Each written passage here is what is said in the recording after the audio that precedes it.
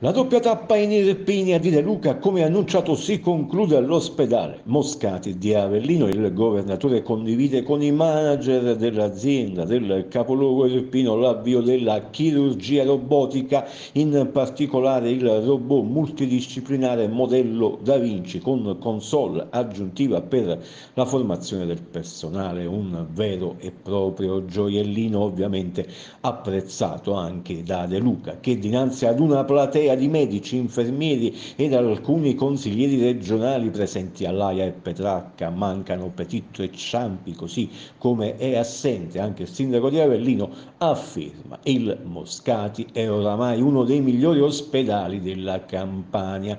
Da Luca si toglie poi anche il sassolino dalla scarpa sull'inchiesta della Procura di Napoli sugli appalti indetti in Campania per fronteggiare l'emergenza Covid-19. L'Italia è un paese paese curioso, dice De Luca, dobbiamo spiegare perché abbiamo fatto le cose di corsa in piena pandemia.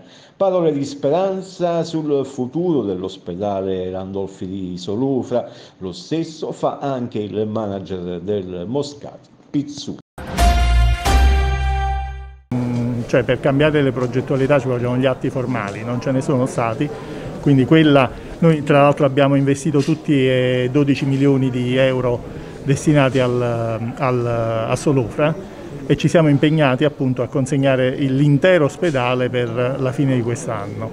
Considerato che abbiamo avuto materialmente i soldi in mano il 7 giugno del 2021, non è passato neanche un anno, quindi penso che abbiamo fatto le cose eh, in fretta e furia ma fatte bene perché avevamo delle progettualità già abbastanza ben definite.